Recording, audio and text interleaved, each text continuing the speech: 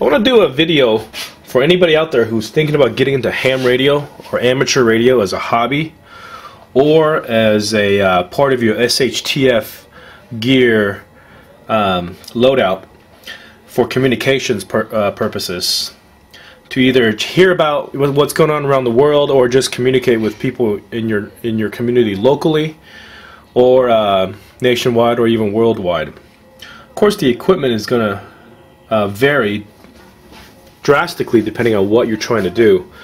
Uh, little handheld transceivers like this can do um, a few miles without the use of repeaters. It will also let you tune into a lot of the frequencies that uh, that are being operated around your neighborhood. Uh, with a repeater, it'll go even further.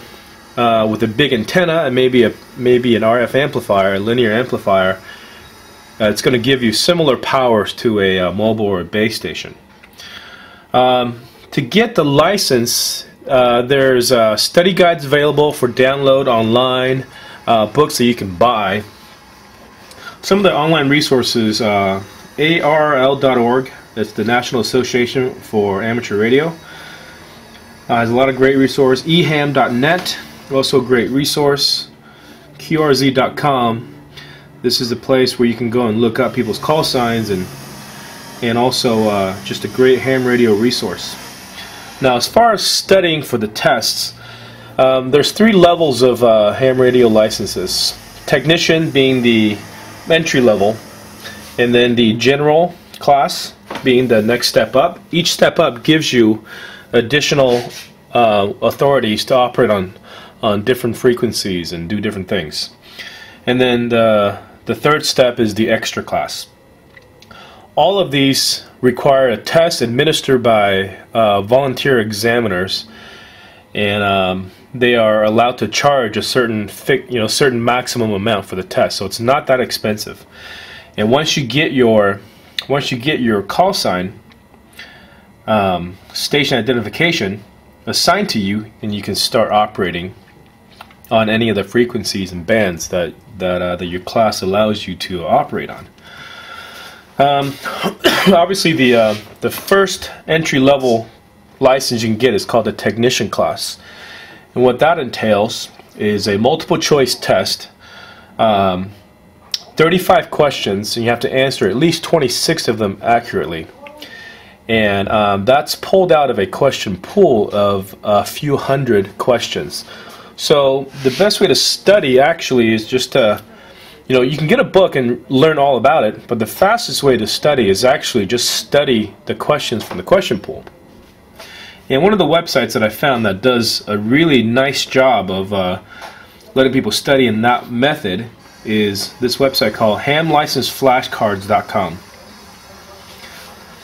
They have all three classes uh, with the latest question pools already loaded, and you can jump, it's simple, it's a straightforward website, you jump right into it. So this is the technician class, you jump right into a test mode. You see the question and you get your four multiple choice answers. Let me hold this or maybe zoom in a little bit so you can see better.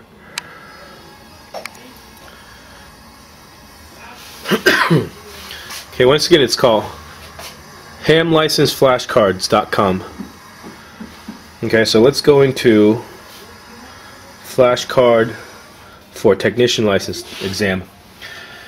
It randomly throws up throws up one of the questions from the question pool. You pick and choose what your answer is, and um, you pick that answer. I'm just going to go ahead and randomly pick a choice. Now, if you get it incorrect, it tells you what it is, but it also keeps score for you on the side there, which is kind of nice. And then when you're ready, hit the next question, and let me just go ahead and answer this one correctly so we can see what's going on. If you answer correctly, it tells you that it's correct and also keep track of that and it keeps a running score. so remember, for this particular technician class exam, you got to get 26 out of 35 correct at a minimum to pass. Um, so this is a great way for for for me that I found anyways. I can load this up on my on my tablet, on my smartphone. Um, if I have 10 minutes, I you know load the load the uh, website, run through you know half a dozen questions, um, I can also go into what they call study mode, which just randomly throws up a question and then tells you the answer. And you can click through and you know kind of quiz yourself. So this is a uh, this is kind of a like a pop quiz that, that that you can give yourself wherever you are, you know, whenever it is. Um, you can also obviously go to uh, general class or extra class, but you can also click on the question pool and it, tell, and it gives you every question in that question pool if you want to study this way. You know, you find something that you're interested in, you don't know the answer, you click on it, it takes you to that uh, question and gives the answer. So, very simple website. Um, kind of takes the idea of these these uh, flashcards that uh, you know, um, us old timers used to do when we're uh, when we're in school studying for a test. I find it being easier than to, um, you know, just to study off of a big list of questions.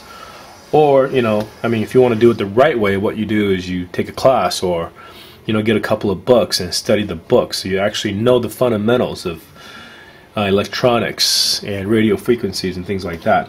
But if what you're interested in is to pass the test, I find this as being probably one of the most efficient ways of studying questions directly out of the question pool.